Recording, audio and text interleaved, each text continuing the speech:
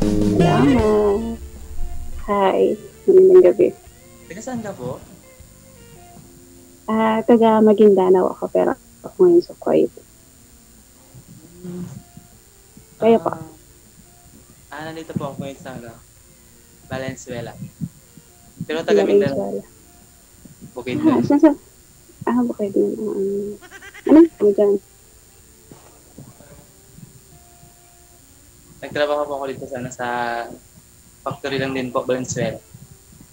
Mm, maganda. Parang ano, bata ka pa. Ilang taon na? 30 po.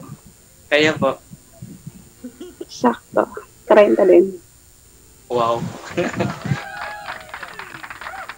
Pero ano, may mga may mga anak na ako. Ah, may mga anak ka na. Ilan? Apat. Wow. Ginalingan ko yun eh. Ah, Yun na. Oo, hiwalay lang. Yoda na.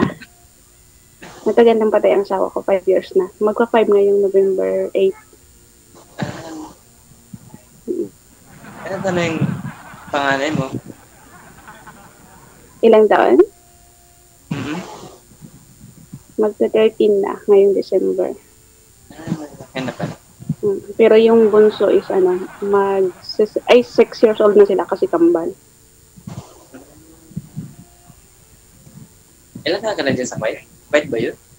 Ah, isang taon at isang buwan. Pero ano, Isang taon? bala ko pa, bala kong magstay ng mga 4 years kung kaya. Ibig sabihin niyan, matagal tayo magkita niyan. Ganun na nga eh. Ikaw, Ah. may may dati ka bang pamilya? Ah, meron din po. Ah, single na rin ako na yung anak ko nandun sa magulang ko. Mm, ilan? Ilan ang anak mo? Sa, Bakit? Bakit ka single? Ano nangyari? story. Bakit nga? Bakit ka naman mahiya? Huwag na natin kwentuhan mo na dito kasi Ah, okay, okay. Ah, sige. Nire-respeto ko yung sorry, sorry. okay lang. Sorry. Ah, ibig sabihin niya magtatagal ka pa dyan, mga 4 years. Ganun. Oo, kailangan kong kumayod eh para sa mga anak ko. So. Yan, kung sakali mang maging tayo. Tayo na agad.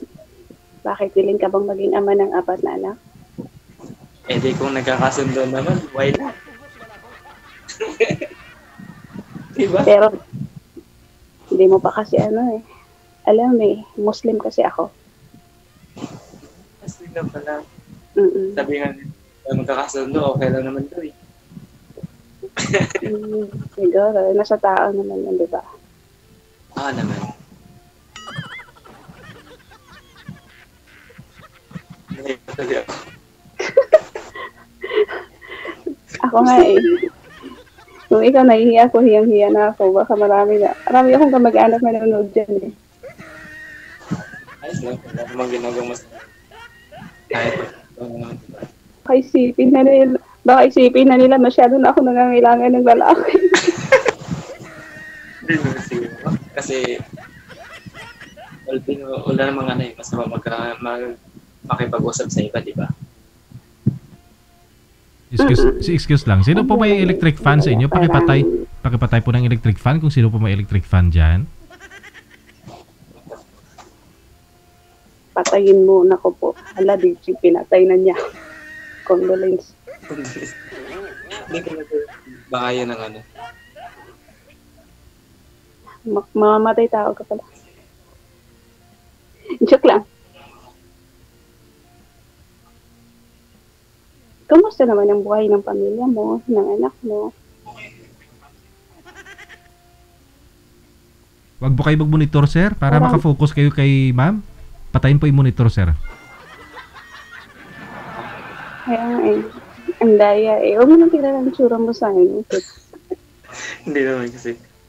Um, kung sakali bang... Wala, nahiya ako. Um,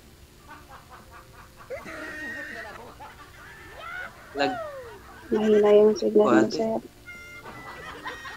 mm, sa kalibang mo tayo, di ba abot na 4 years? Oo naman. Wow. Mm, Hindi pa naman katandaan yung mga edad natin, di ba? oo. sa bakit? Ano? Numi num numero lang yan. Eh,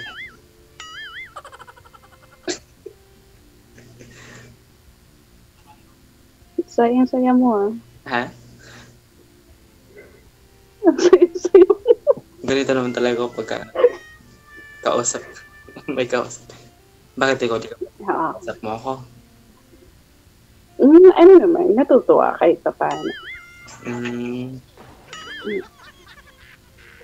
Pero parang hindi kasi ano, parang yun sa physical mo, physical appearance mo, parang hindi ka nasa 30. oh? Mm-mm, mentally. Joke lang. Joke lang. Hindi, ano, 30 na tao. 30 na ako. Ano ang mga plano mo sa buhay? Ewan ko, ambot sa langaw. Ambot sa langaw.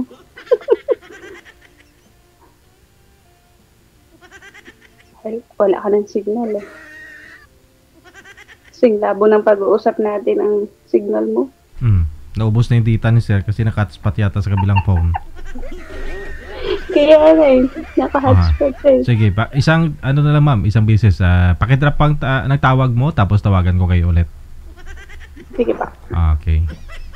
Hmm.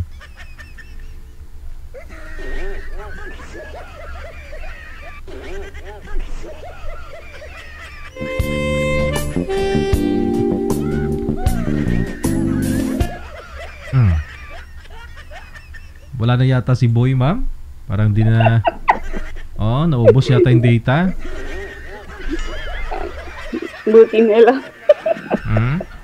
Sige ah, na. Buti na lang. Buti. Buti. Pero interesado ka kay Boy.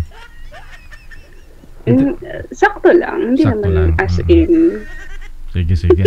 Ah, ipapatuloy na lang po ninyo, grupo po ninyo sa pag-uusap, ma'am. Ah, Andiyan naman po yan. Kung gusto mo, kung andyan siya, buksan niya yung grupo ninyo, pwede po kayo mag-usap, ha? Thank you, thank you. Thank salamat, thank salamat. Thank you po. Bye-boy. Maganda gabi.